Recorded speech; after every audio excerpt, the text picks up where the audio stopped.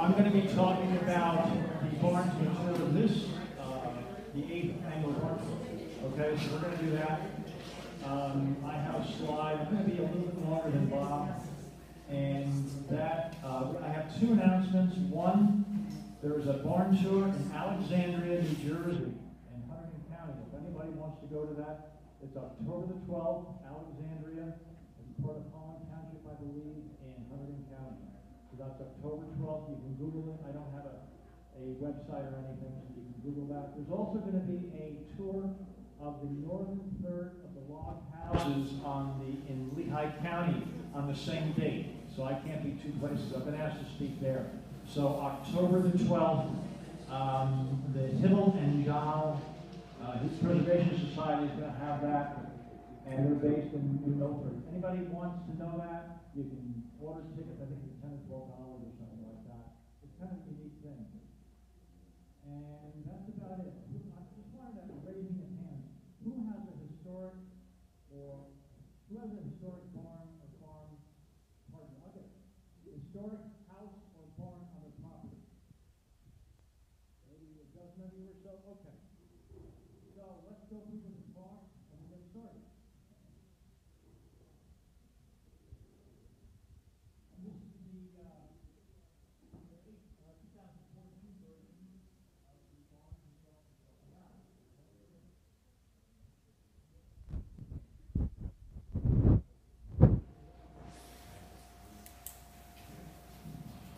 This is the um, only stone barn uh, of the, excluding the wall-time barn right outside the door here and the uh, remnant. This is the only stone barn on the property on the tour this year. Okay,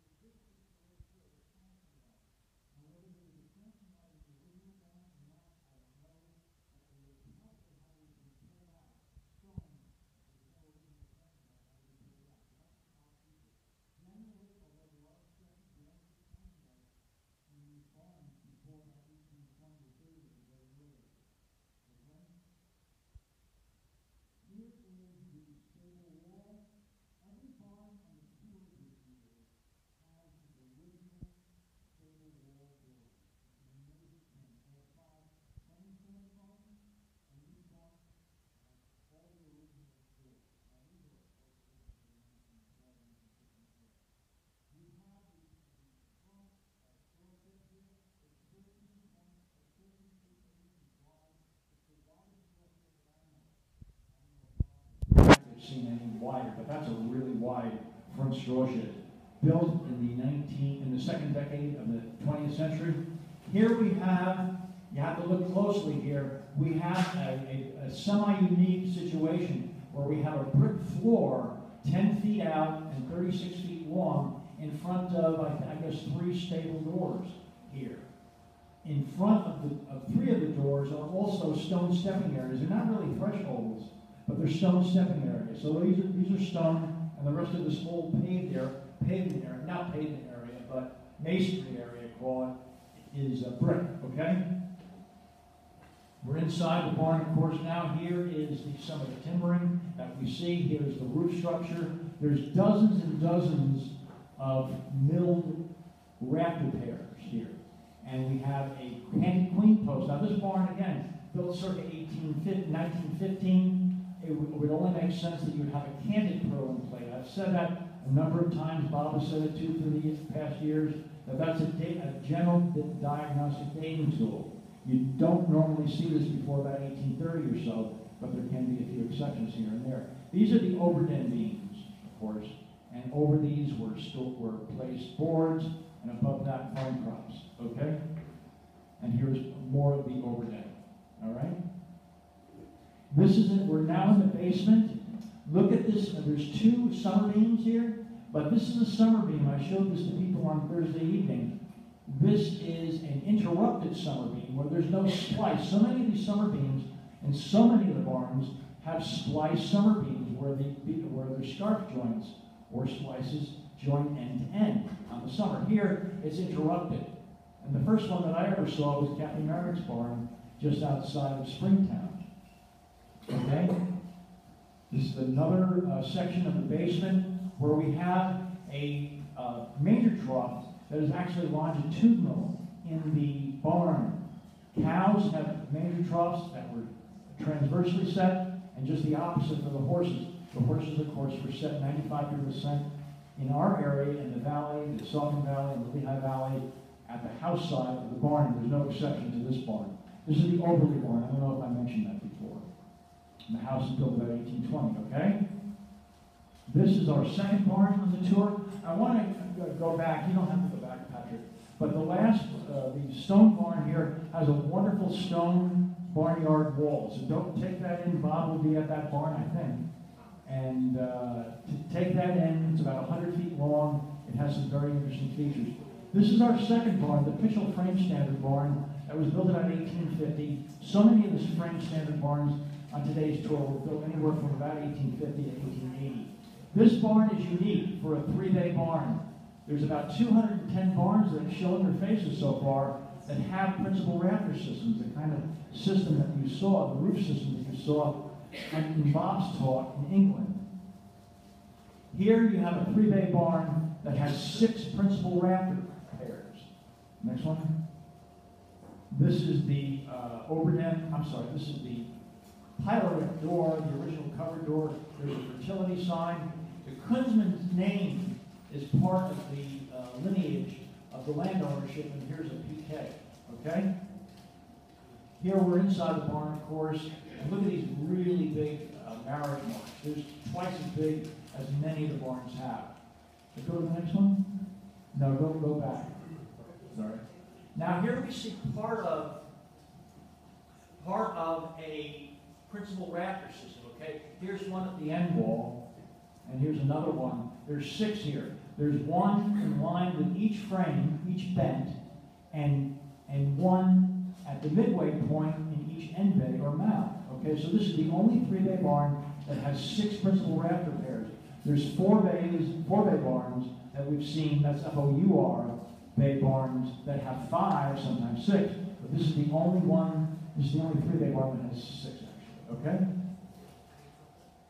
Now this is a rare feature. This feature was found, anybody was here three years ago on Easton Road when we had the barn tour then, we went to the uh, Lawbach barn, and this and that Law- uh, barn actually had one of these side bay or end bay or mow area longitudinal passageways that went from the Mowstead wall all the way to the end wall.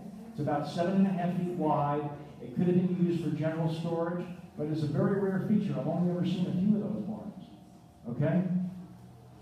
And here is the Mowstead wall. There's probably about 40 or 50 percent of the one wall anyway that's intact. This is not pine, it's not oak, which we see 90 percent of the time or more.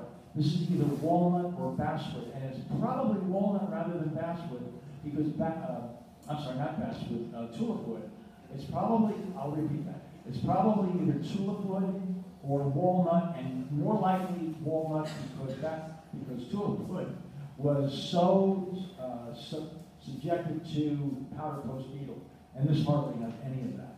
Okay, but we see that every once in a while. Okay. This barn, by the way, is 60 feet 6 inches. Anybody recognize that uh, distance? It's from Pitcher's Mound to home plate. It was not 60 feet, not 61, but 60 as Roger said, 60.5. okay, um, and here we have the principal rafter system again. The common rafters, large principal rafters in line with the bent. There we see the, uh, the, the uh, built-in ladder, the upper tie beam, and the lower uh, tie, okay? Here we go on to the coffee barn. This is off Lower Saucon Road. It's only 32 by 28, but it's a, a very interesting barn. Here you have Pyrex on either side. I think the siding, the vertical siding on the far end, which is toward the house, in this case, I'm sorry, the near end, has original siding. Here we have three original stable wall doors that are all blue, faded, fainted, faded, faded blue, I'm sorry, faded blue, and um, they're all original. There are no Spriggle bars. You Spriggle bar fans are going to be disappointed with this year's tour because none of the barns have any Spriggle doors, uh, Spriggle bars. I'm sorry. I apologize. Okay? Here is the backside of a, an original door. One of the general dating tools of a barn, now there are exceptions to this, is look at how many boards there are. There's one, two, three, four, five. Normally you would not see that on a pre-1830 or perhaps pre-1840 barn. You'd see sometimes two, uh, sometimes three or four, but that's a general dating. When you see that and the boards are narrow, like on the Mowstead wall, you can generally guess that it's going to be probably after about 1850 or 60. Okay? And here we see this very great uh, tradition or regionalism in our valley here, where the, the summer, I'm sorry, the joists over the stable wall uh, cantilever out beyond the wall by about four and a half feet in this barn, and they tenon into the sill right here. You don't see that three or four miles, only to the, to the west. In my area, in Macungie and Lehigh County, you never see this kind of feature. You see this in New Jersey, and you see it out in Ohio, but you don't see it in the Lehigh Valley. You see it extensively in the Saucon Valley. Okay? Here's the one single summer beam. It's a 32 foot long timber minus the thickness of the walls. So there's no splicing in this, just one beam. Okay? And here, of course, is the interior where we, again, we have our canted queen post, a diagnostic feature, canted uh, purlin. If you have one member that's canted here, you have the other one that's canted, virtually all the time. Upper tie beam, built-in ladder, okay? And you have marriage marks again, okay? All right? And you have, again, the overden beams, all right? This is the Rook, or the Nelson barn, that is also off Lower Saucon Road. This is a 45 by 35 foot barn. These are two additions on the right-hand side. We're not going to be going into those at all today, but we will be able to see all of this barn has all of its original stable wall doors, okay? Here we see, again, the stable wall doors here. Go ahead. This is the this is the stable wall here, the inside. Here's the curry box and the uh, beam inset into the stone with the empty holes for the for the harness pegs. This is on the horse side of the house side of the barn, for the horse area. Okay? This is the end wall on the basement level toward the house. Now this door is unusual in that, you'll see this today, this door is unusual in that it's centered, or just about centered, on the wall, where most often the doors that are on the, the, the near wall near the house are set far back on toward the corner. It could be anywhere from as little as about three feet to maybe eight feet. Here it's centered. Here you don't see it very well because of the lighting and all that business. But here, from this point diagonally over to the left, is a flush wall with their stone. But here it's not because, as Bob says, they, they built the wall, they dug out the trench, the earth, and just threw the um, stones in that wall, and these stones project four to six inches beyond that. There was no reason to make this really pretty or nice, and that's the way they did. So that was covered with, with, with earth or ground uh, before it was taken away to build the additions on the other side. The other end, the other end wall at the basement level also has this uh, steepness of uh, ground level, okay? And here we have the Leidig barn. This is off Wassergass Road. Wonderful little barn, 35 by 30. Here we have two faded barn stars. The owner, Jill Durstein, paint, have this barn painted, I don't know when, five or 10 years ago. But she knew enough, I guess intuitively or whatever, not to paint the barn stars, and that was smart of her. Let's go to the next one. And presto, my God, it was quick. Actually, Patrick Dunmore and his sidekick Eric Claypool painted this, I think, the last week in July. And uh, whirling swastika, they were only up there for a few hours. Far, far less more complex than other barn stars that they've both done. Here we have a barn that is 35 by 30, a three-bay barn, frame standard barn with all four of its original stable wall doors, a pyloric about five feet, that's pretty wide for a small barn like that, okay? Here is the close-up of the barn star, okay? And here's another shot of the stable wall. These windows, by the way, are not original.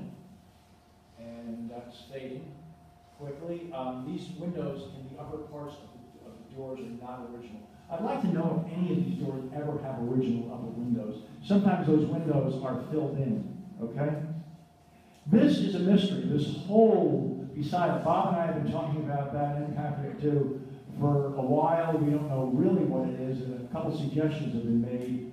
Um, there was a barn that only came up about two months ago, a month and a half ago, out in Franklin County that had this. So we thought this was a unique barn, and it's not. There is at least one other barn that has that, okay?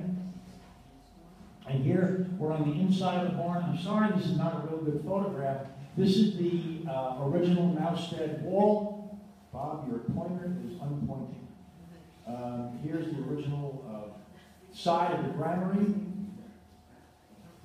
And the door on the right-hand side, look on the upper right-hand corner of the door. There is, i I'm sure, almost... What?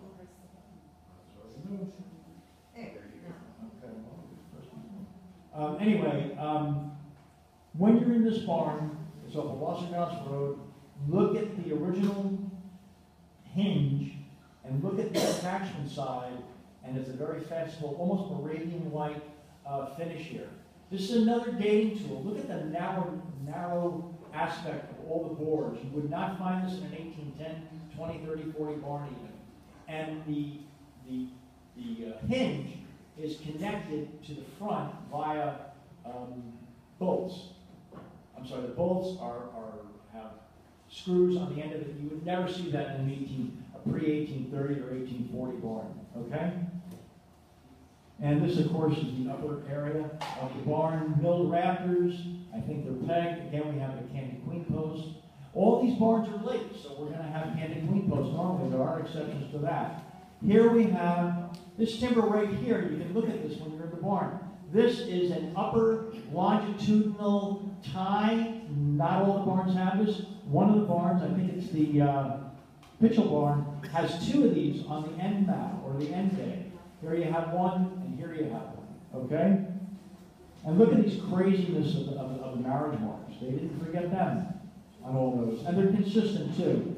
You have the one set, one set, and you have the one set and the other set. Okay? This is some original exterior vertical siding on the house side of the barn. We don't see Pennsylvania hearts all that much. We see other forms of ventilation. Okay? Now I'm going to introduce you to a very special member of this household. this is a very sweet dog, and this is Bree. He's the official mascot of not only the Leidig Thurston Frame Standard Barn, but of the entire tour. This is one, to me, this is one of the wonders of, of the of barn architecture in the greater Saucon Valley. And as far as I'm concerned, the southeast Pennsylvania. It's only a two-bay barn. Bob was looking at this barn probably in July or August of last year. He, he goes by, a, he knew it was a two-bay barn. I think he called it a two-thirds barn or something like that. Um, but he got permission for it to be on the tour this year. And this is only a two-bay barn. Here are the winnowing doors. Now, why would winnowing doors that you virtually always see in the middle of the barn, middle of the four-bay wall, to the side? You see it because this is only a two-bay barn. You have the wagon bay, I'm sorry, the wagon bay right here on this side, and on this side you have the end mow. All right, so that is why the winnowing door is placed there. And again, we have Pylorex. Again, we have all three stable wall door, original stable wall doors. You've got a six-foot separation between the door on the left and the door, the next door, and, a, and less than a two-foot separation over here. Now, why would you have that distinct difference there? It reflects the floor plan on the inside of the basement. That's why you have that. Okay? And here's the two-foot separation, and there you have the six-foot separation between the other two. And you do have, again, one of those uh, window cutouts. These have been filled in uh, after the fact, okay? Now look at this crazy, crazy structure. My gosh. I went in there with Bob and Priscilla uh, about a week or so, maybe after the tour last year. We have a principal rafter system. This barn is only 24 feet by 24 feet. It is the smallest barn of any of the tours in the last eight years. Okay? Why would you, for a 24 by 24, it's like a big shed. Why would you put these massive uh, trusses, no, I'm sorry, not trusses, but uh, principal rafter pairs in such a, well, we can't go back 150 or 175 years ago and ask them. But there's a lot of implications in that, and that's why I'm saying that this barn was very much uh, over-engineered, um, it's nice to have all these big timbers. Here you have three bent. This is the bent on the end on the end wall. This this crazy uh, oak timber is a foot across. You know, you don't need that kind of support. And I've never seen. I've been in several two bay, four bay barns. You never see that kind of uh, timbering. Okay. This is the other third wonder of the of this uh, Marek barn. Look at look. This is the overden. Of course, we have three overden beams. And the original, I, I can almost guarantee you that these that this, these boards up above, above which were, form, were stored farm crops, that you have that you have these very wide, more than two feet wide boards. They, I would bet that they were probably chestnut. They could be walnut. They could be. I don't think they're oak. The grain is not right. It could be uh, tulip wood, but I think they're probably chestnut. Okay. And here again, we have a very clear view of this the back corner of the barn. Here we have an Eselfuss, which we talked about before. It's in your barn tour guide booklet. You have an Eselfuss connection up here where you have an upper tenon that, that is received into the upper tie, and you have a lower tenon that's received into the wall plate that sits atop the, um, the uh, sidewall, okay? And Bob Bob couldn't resist buying this. Uh, Bob, you want to tell a little story with that? Sure.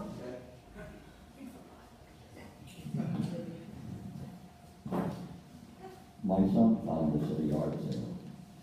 Because, you know, he, I'm a barn nut, so he bought this thing. It turns out to be a whiskey bottle. you, can take, you can take off the lid, and there's a spout and a stopper there. Well, that was nice. And then the front point it says Michter's Whiskey. Now, Michter's Whiskey was made near Schaefferstown, Pennsylvania. My mother happened to have been born in Schaefferstown, in a log house, in 1892, I believe. And her family, the Bumbergers, were partners with the Michters in this brewery business.